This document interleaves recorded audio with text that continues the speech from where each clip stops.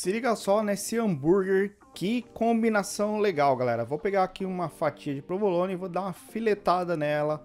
O provolone já tem mais ou menos o tamanho aí do pão e da carne e nós vamos fazer como se fosse duas rodelas mesmo de provolone aqui para nosso lanche.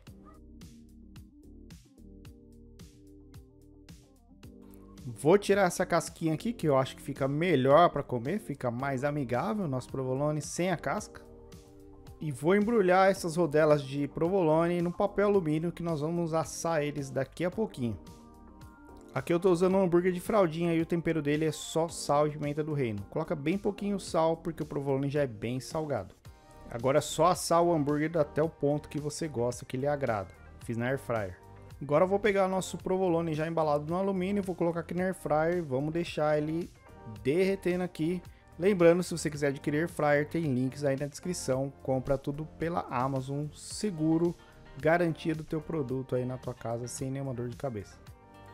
Legal, agora nós vamos desembalar o nosso queijo. Vamos tirar esse provolone aqui do alumínio. Cuidado, porque às vezes o alumínio pode ficar um pouquinho grudado, então tira com cuidado aí. Agora vem aquela combinaçãozinha bacana, galera. A montagem do lanche. Pãozinho já selado com manteiga. Acabei não mostrando aí, mas pãozinho sempre selado. Fica quentinho e dá um saborzinho incrível, uma crocância, fica bem bacana. Nós vamos vir aqui com rúcula. A rúcula já está lavada e seca. A rúcula vai trazer um contraste bem legal aí para o nosso queijo, que é bem salgado. A rúcula tem aquele amarguinho, né?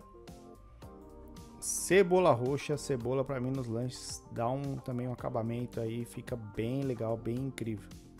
Agora vamos vir com a nossa carne, óbvio que a carne não pode faltar, né, galera? Agora eu vou vir com o provolone assado, galera. Ó, perdi um pouco dele aqui, mas não tem problema não. Vou colocar ele por debaixo da carne, que acho que vai ficar mais bacana aí. E agora aquele toque especial, galera, para combinar com a rúcula e contrastar com o provolone uma geleia de goiaba, tá? Esse, então esse docinho aqui da geleia de goiaba e o amarguinho aí da rúcula vai contrastar com o nosso provolone que é bem salgado. E esse é o nosso hambúrguer de rúcula com provolone assado e geleia de goiaba. Ficou incrível, galera.